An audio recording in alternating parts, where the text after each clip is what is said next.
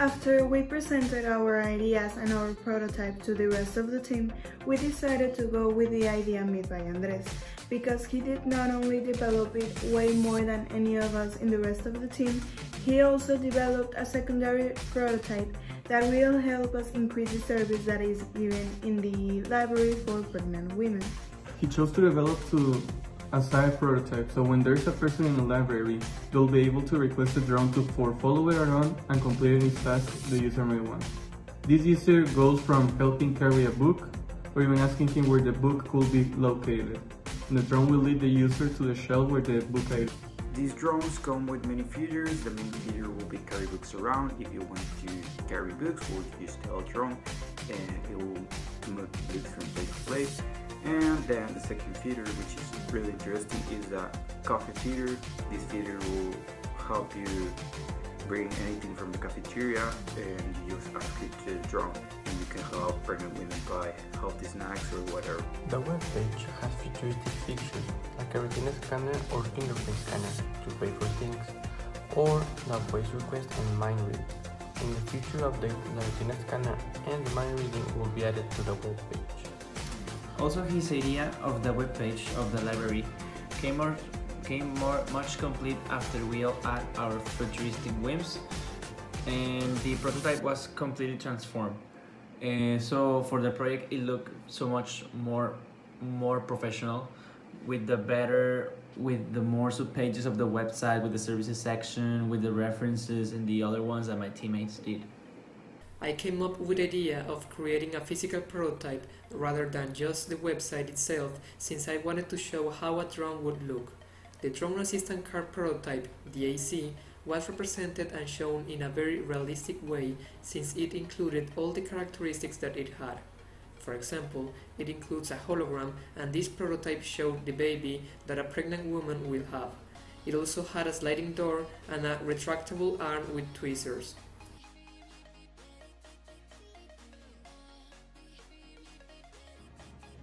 An aspect of a pregnant woman's life is that they are creating a human being, they are creating a new life. So they are directing all of their energy to this baby and they are constantly tired so they're looking out for sleep and for food so they can restore all of her energy. So we need to provide them a place that where they can find all of these basic needs that they are looking for. Several young mothers might want to get rid of their baby and abort the child because the father isn't supporting the family, or the mothers think that the new baby is going to be a great burden on their lives, and that kid will destroy their lives. That's why they need to be heard and supported by the people that surround them and love them. Pregnant women have to always be understood since they usually get different symptoms during pregnancy.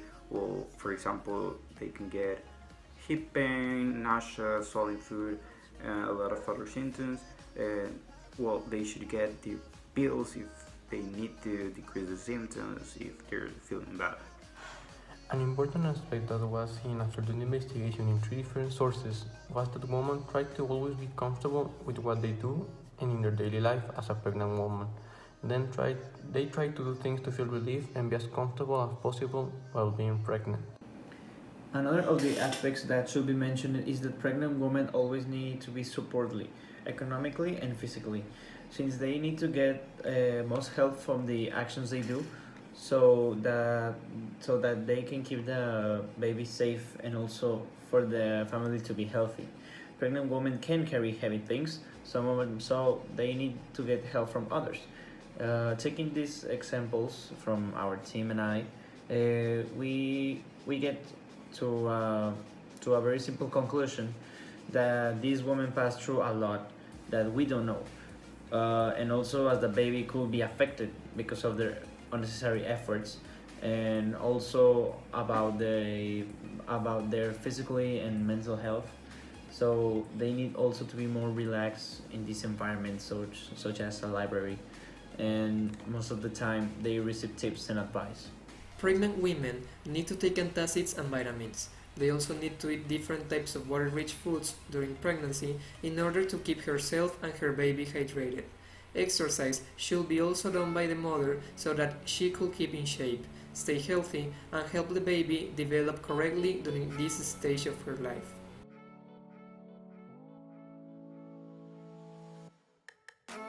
This activity made Empathy Map is used to help us analyze and unblock all the observations from the understanding phase of our design thinking process. This will help us identify what ideas are better to implement to the project for the user's comfort, this being the comfort of pregnant women.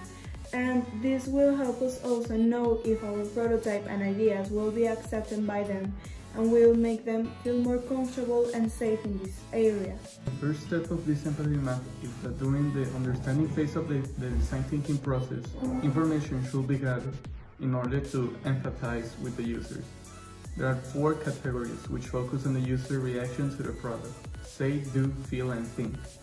Each of them with the purpose to help pregnant women in this case, and offer them a more comfortable experience in their libraries. In say, we focus on what is feedback that we're hearing from the users, being positive, negative, or even suggestions.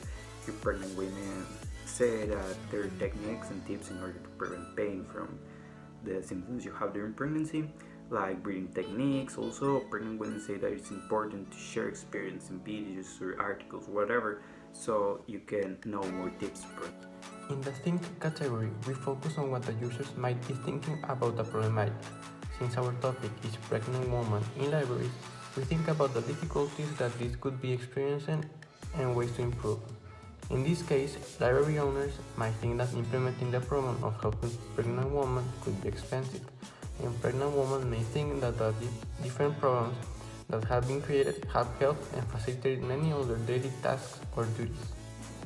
In the do category, we focus on the actions that we are observing from, from the users for example, for this in the library, uh, well, uh, owners create links with organizations, with the charities and companies uh, that are completely directly to make women even more comfortable with during their pregnancy. And these and these people, these our users, are very happy with this, are very comfortable. Uh, they rate this very much. Uh, they take in full action of the forums and articles that are considering them, and they are very much grateful about this so in our team make us feel very happy that that this is actually working and we can actually see that we can do something with the tools that we are given. In the feel category, as the name suggests it, we observe and focus on the emotions that the user could be experiencing. For example, pregnant women could feel excited and relieved that they can get tips and hear other situations that other mothers had, and use it to help them with their own baby and library owners or associations might feel overwhelmed by the support that they'd have to give to pregnant women.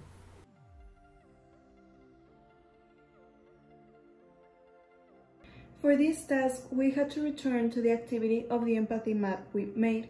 There, we took those original ideas and transformed them into declarations made by pregnant women, so we could understand and, and complement the requirements for the project and also to understand better what a pregnant woman looks for. In the first square of the chat, we ask ourselves, what are the basic needs of the user?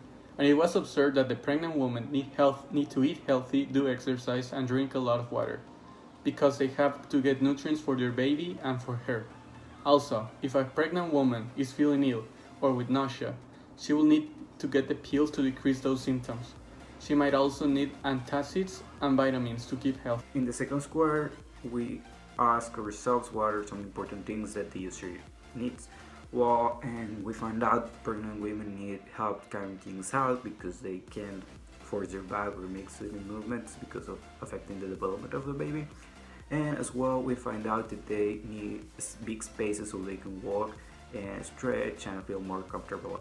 In the third square, we ask ourselves what are some of the important things or needs for the project? And it could be seen that library owners should have the support from different associations in order to get materials and financial support to improve the space and to apply the technology that is wanted, so they could get economical support and get materials in order to always operate the library. Pregnant women need to be in a clean environment. This means that they can be near of any kind of smoke or heavy metal contamination because it may affect the birth, development, or health of herself and the baby she's carrying during pregnancy. Also, they will need an expert to to solve their their doubts about what is going on with her, uh, what is going on with the pregnancy process, so they can know about what is happening to they and to their baby. And finally, in the last square, we ask our, ourselves what are the user whims, and it could be identified that the pregnant woman could want to be relaxing music, get messages, eat munchies, or just constantly be comfortable. They want to be wherever they want to be. So to get re- relaxed and cozy, but the really important aspect to consider will be the needs of the pregnant woman. If the things they want could be achieved, it will be great. After all the analysis, we came to several conclusions, but the most important one was that thanks to this activity, we could now see that occasionally it is necessary to comply with some of the whims that the users might have to keep them satisfied and establish a good relation with these users. For example, that's why certain discounts are always added on goods and services, but we noticed that it is essential to comply with the needs that the users, like pregnant women or library workers, could have during their experience in the library.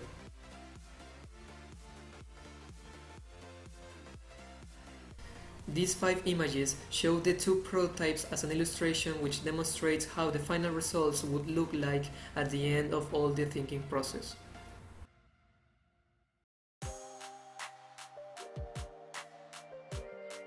For us to make a better final prototype, we decided to add some of our best ideas of our reads.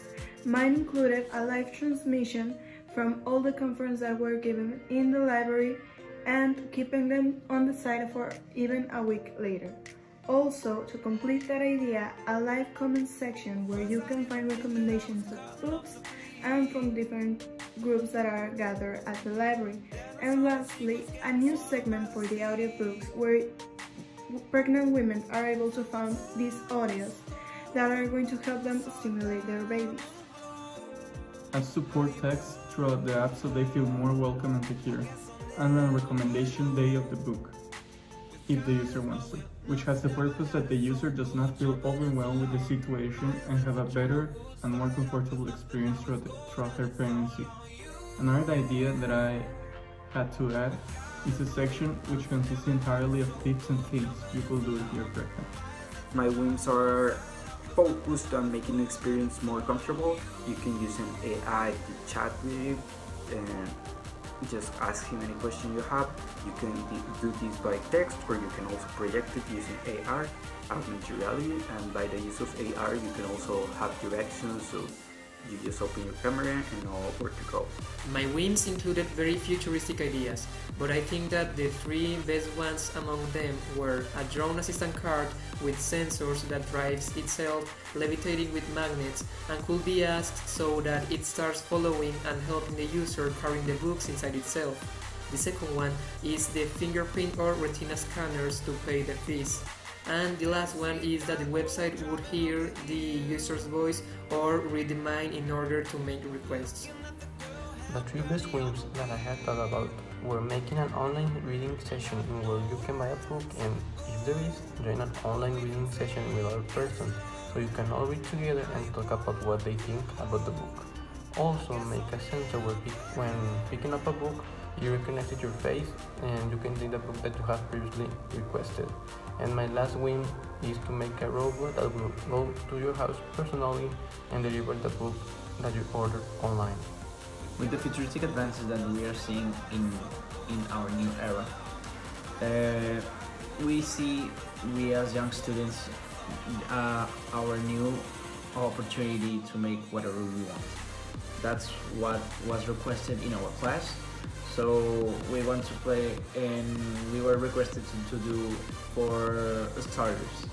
Uh, I used to idea that we can implement a simple VR chat uh, where a pregnant woman can chat with someone or with more than two people about their book that they read in, in the library while they are sitting down and this can be implemented with the use of a helmet or or, or nice glasses uh, that we are seeing now but but implemented in a, in a library uh, in a level of, of a library uh, and this will help and not much be used as an as an entertainment rule as teenagers do like VR games. This will actually help them in case they can't stand up because they're tired or maybe the baby was born and they have the baby hand in hands even though uh, this could be hard for them but this could be also great uh, using the VR chat because they can do whatever they want but sitting in, in the library.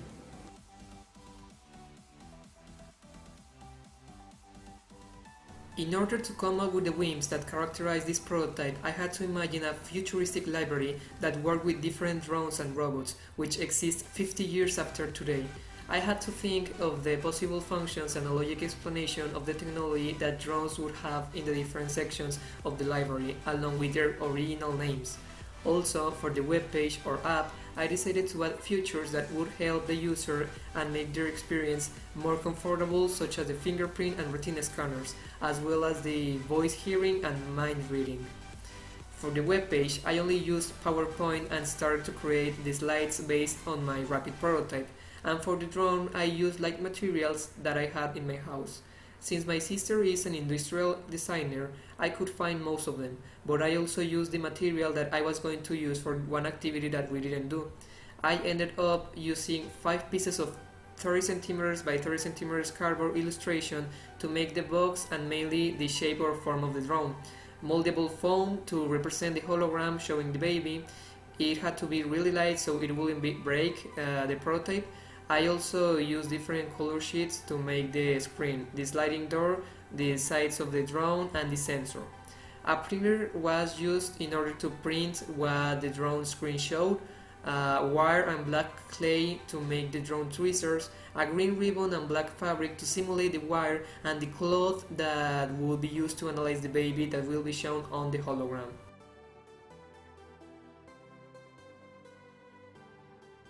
The Color Robot app is not only going to help us give a much better experience for all of our users, because it is going to have all the functions of a normal app, but it is also going to have a fingerprint and a, and a retina scan that is going to help us give a much personalized and unique service to all of our users that will that with this program will be able to find every kind of movement they have made inside our library, like the books they have requested or bought or borrowed and everything they have made with us.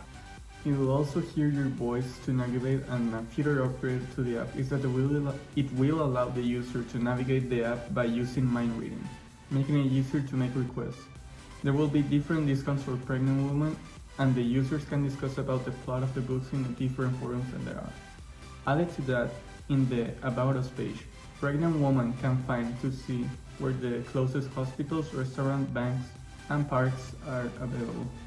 But the main characteristic of the CRA is that aside from requesting a boot, uh, some drones, robots, or floating cards that have been added to the brainstorming could be requested to be used, but to request them after a mention upgrade, the user just has to open the app and think on the robot or drone that is needed all these drones will have different purposes and the main purpose is to make them the user feel comfortable at the library. If a drone is requested from the services page, it will follow or just help the user in several tasks. In this case, the drone assisted card or DAC would follow the person anywhere and it would speak to the user. It doesn't use wheels because it will be levitating with magnets that are on the floor. By having those magnets, the height of the DAC could be increased or decreased by just changing the polarity of the magnets, which is reverse magnetism. This, this product will help pregnant women to reach objects that they are not able to get. Since the drone will always follow the instructions given by the, the user, the, the drone will also help the user uh, since it will have a screen at the top to show the instructions that, that the person must do and given to if there is any request as well it, it will have a diagram that it could show uh, how the baby and the pregnant woman will be this happens to the sensor that is has of of the cloth that it's included that DAC Likewise, the DAC will have a sensor at the front in order to detect movement and to be able to go for a certain book. This one will detect magnetic stripes on books. And finally, it will have a sliding door and a retractable arm with tweezers to get a certain book and the DAC will put it directly inside itself.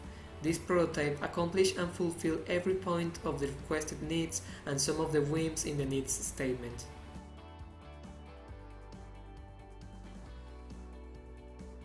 The logo is composed of a sun and a tree, this meaning that we will give a relaxation feeling to all of our users and also the hope that they will get the best service they, they can possibly get.